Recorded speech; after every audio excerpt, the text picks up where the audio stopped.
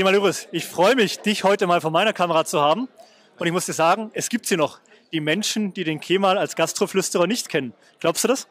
Auf jeden Fall. Also wir wachsen jeden Tag. 1000 Abonnenten, glaube ich, pro Tag, ja? ja? Genau, auf TikTok und auf Instagram kumuliert zusammen. Und äh, wir sind noch am Anfang. Also ich hoffe, wir brechen dieses Jahr die eine Million Grenze. Wir sind jetzt so bei 740.000. Aber äh, für mich ist ganz wichtig, nischig zu wachsen. Also ich könnte natürlich meinen Content ein bisschen aufmachen, allgemeiner machen. Aber ich glaube, es geht nicht um die Masse, es geht um die Klasse. Es müssen am Ende Gastkollegen sein, weil denen will ich helfen. Hm. Sein, tun, haben, so ein bisschen auch dein Motto. Ja? Äh, ich glaube, du hast vorher gesagt, 25 Jahre hast du richtig kämpfen müssen, um jetzt ein bisschen zu haben. Bist du schon beim Haben oder bist du noch beim Tun, Kemal? Ja, ich tue, aber ich tue das, äh, was äh, mir entspricht. Und dadurch ist das Haben äh, zufriedenstellender.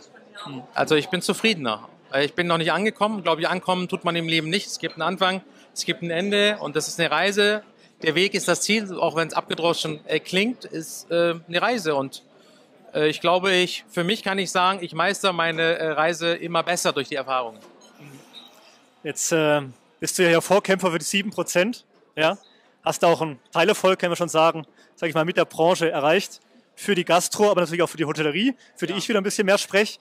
Äh, da herzlichen Dank, weil die hängen natürlich sehr, sehr eng zusammen. Äh, da haben wir noch ein Tun, oder? Vor uns. Ja, es war vor drei Tagen noch so, dass ich gedacht habe, das Ding ist durch mhm. für uns. Äh, jetzt kam gestern der Loch mit 60 Milliarden. Es bleibt spannend. Wir können nichts sagen und ich glaube, die Entscheidung wird nicht morgen fallen. Morgen hätten wir sie gehabt, spätestens. Ich glaube, die wird noch mal vier Wochen gehen und das ist das als ungeduldiger Mensch, äh, was mich so. Aber am Ende hoffe ich, dass es gut ausgeht für uns. So, abschließend die Frage, wenn wir jetzt äh, ja, irgendwie musst du dich auch, musst auch manchmal zur Ruhe kommen, Kemal, oder? Ja. Weil man sieht dich auf allen Kanälen und äh, 700.000 Follower insgesamt. Ähm, wie kommt der Kemal doch zur Ruhe, um auch ein bisschen zu, zu reflektieren? Muss ja sein. Ich habe ein gutes Team, so in meinen operativen Geschäften, auf die ich mich, äh, soweit es geht, verlassen kann.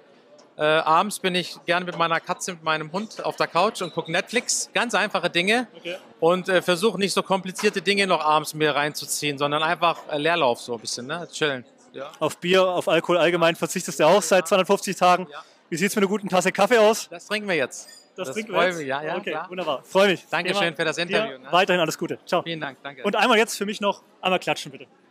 Hallo, meine lieben Gastrokollegen.